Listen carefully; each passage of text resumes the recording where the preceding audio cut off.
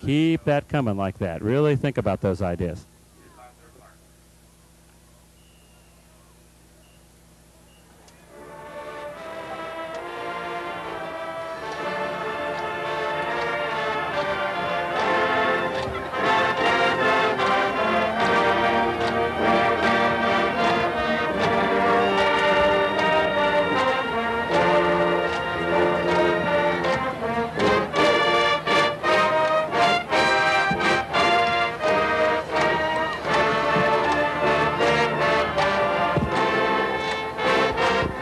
Watch your phrase endings. When you do a concert number, you want it to sound uh, just like it would inside, maybe with just a little bit more vo volume for an outside performance.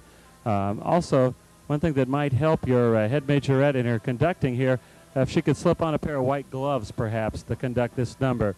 That'll make those hands uh, show up just a little bit better uh, for two reasons. One, it's easier for the band to watch, and also it gives the crowd a, a little bit more definition of that conducting that she's doing she's doing a nice job of holding the group together and, and uh, leading them right now. So uh, let's show it off just a little bit, maybe with uh, some visual uh, impact with a, a flash glove or just a regular white glove would work quite well.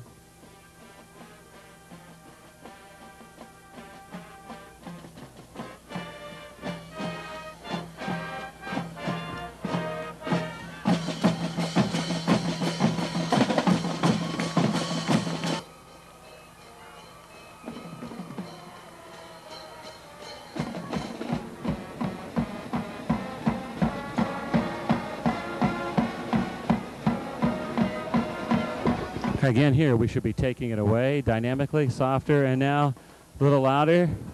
And this might be a good place. I see some people with their bells angled at a 45 degree angle back towards the uh, stands, and that might be a real effective idea. I know the backward march with this strut step is really difficult. You're doing a pretty good job with it, uh, but we, we want to get the impact of the sound coming here towards the audience. So perhaps angling your bells at a 45 degree angle will do that for us.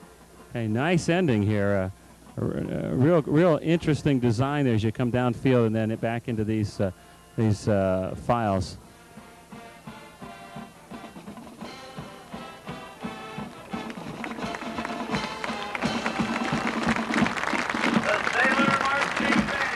Okay, again, as you uh, are facing uh, directly downfield, remember that our, our instruments are mostly directional instruments. So uh, a 45 degree bell push here towards the stands at the very end would really, I think, uh, make for a, a, nice, effective ending to that show. Uh, even with your uh, fight song tag, uh, I'd get the sound coming up here to, to give that emotional push you want, the excitement lift you want at the end of your program. Over me, and certainly enjoyed your program tonight. Uh, it seems to be a well-taught uh, group and certainly a lot of enthusiasm and pride in what you're doing. I want to wish you the very best of luck for the rest of the season and hope it stays dry for you.